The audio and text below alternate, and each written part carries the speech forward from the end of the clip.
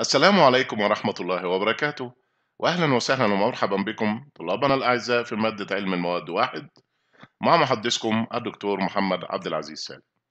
والجزء رقم ستة من الفصل الخامس هنتكلم عن Fick's second law أو القانون الثاني لفيكس.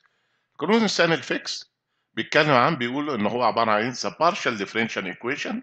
that describes the rate of atom of which atoms are redistributed in material by diffusion والقانون زي ما هو قدامنا بيعبر عن إن ال CS دي يعني معناها ال concentration عند السطح ال CX معناها ال concentration عند أي مسافة وال CS تاني اللي هي السطح اللي إحنا قلناها قبل كده أما ال C naught اللي هو ال composition الأولي. أما Gaussian error function اللي إحنا شفناها دي ال X هنا معناها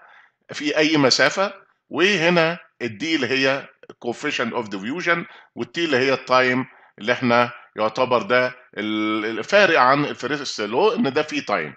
طيب عندي مجموعة مصطلحات بتعبر لي برضو عن أو بتفسر لي عملية الايه ال diffusion اللي بتتم. عندي حاجة اسمها interdiffusion interdiffusion يعني إيه؟ يعني معناها diffusion of different atoms in opposite direction. يعني عندي اتنين diffusion بيحصلوا في اتجاهين مختلفين عشان كده اسمه interdiffusion وعندي Kirkendall effect وده عبارة عن physical movement of an interface due to unequal rates of diffusion of the atoms within the material. يعني بيحصل ال interface بين material interface بين ذرتين. بيتحرك نتيجة إن في آه عدم تساوي في معدلات ال diffusion على جانبيه فبالتالي بيتحرك. النوع الرابع عندي أو النوع الثالث عفوا عندي purple plague وده عبارة عن formation of voids تكون فقاعات في الذهب والالومنيوم في لحام الذهب والالومنيوم due to unlike rate of diffusion of two atoms. يعني برضو بيحصل نوع من أنواع ال diffusion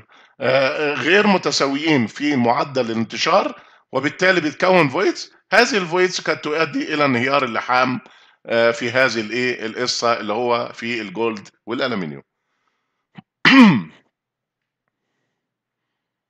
في الحقيقة الرسمة التوضيحية اللي قدامنا بتبين ال diffusion of atom into surface by material illustrating using Fick's second law إحنا قلنا دي الرسمة التوضيحية العامة اللي هي بتبين لي ادي ال concentration الأولي اللي إحنا بدأنا بيه وده ال concentration على السطح و CX ده ال concentration في أي موضع عند أي X عشان أقدر إيه أعبر عنه. لأن في البداية عندي بيبقى ال concentration الأولي 100% بعد كده بتبدأ يحصل interstitial عفوا diffusion ونتيجة لكده أقدر أجيب ال diffusion في أي مكان نتيجة للمعادلة السابقة اللي هي Fick's second law